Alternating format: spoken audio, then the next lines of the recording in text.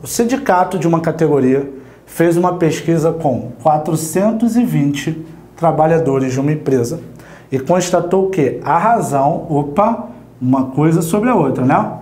Entre o número de trabalhadores satisfeitos com o emprego e o número de trabalhadores insatisfeitos com o emprego era 2 quintos. Então a razão do satisfeito com o insatisfeito era 2 quintos.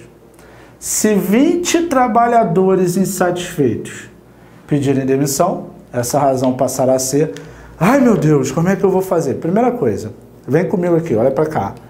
Qual é o total de trabalhadores que você tem? O total são 420. Aí ele fala que a razão do satisfeito e insatisfeito é 2 quintos. Então vamos lá. Satisfeito e insatisfeitos são 2 quintos. Tudo bem? Ok? Aí os 20 trabalhadores tu deixa para lá, tá? Você tem que achar os trabalhadores primeiro. O final você deixa para daqui a pouco. Porque você precisa, como ele fala assim, ó, se 20 trabalhadores insatisfeitos pedirem demissão. Então, 20 vão pedir demissão. Então, o que vai acontecer, galera?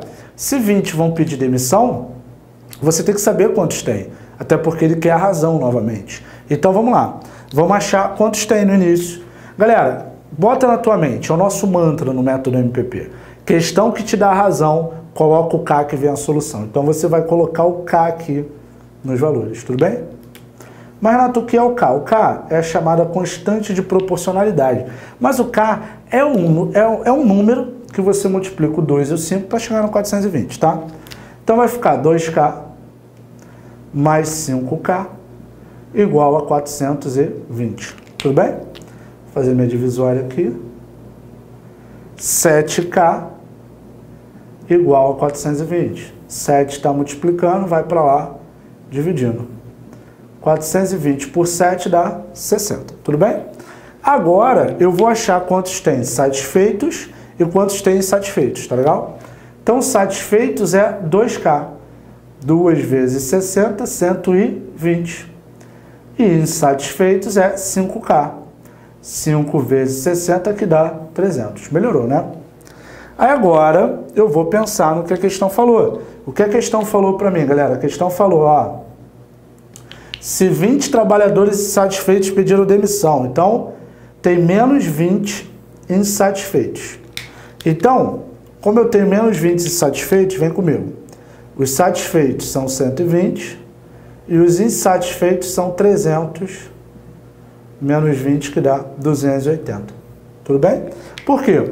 Eu tinha 300 insatisfeitos, sendo que 20 pediram demissão. Então, Quantos sobraram insatisfeitos? 280. Ok? Aí agora ele pediu essa razão, né? Essa razão, que razão? A do início. Satisfeito para insatisfeito. Legal, né? A VUNESP adora isso, então fica ligado. Satisfeitos são quantos, galera? 120.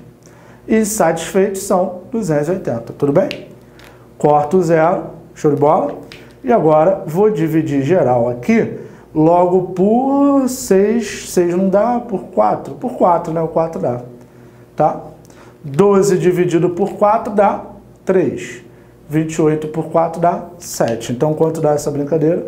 3 sétimos. Qual é o meu gabarito? Letra B.